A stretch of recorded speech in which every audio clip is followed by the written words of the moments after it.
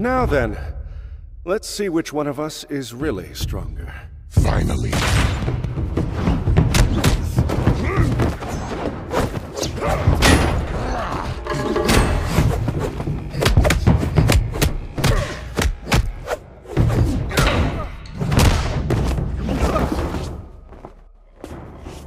That's one round for me.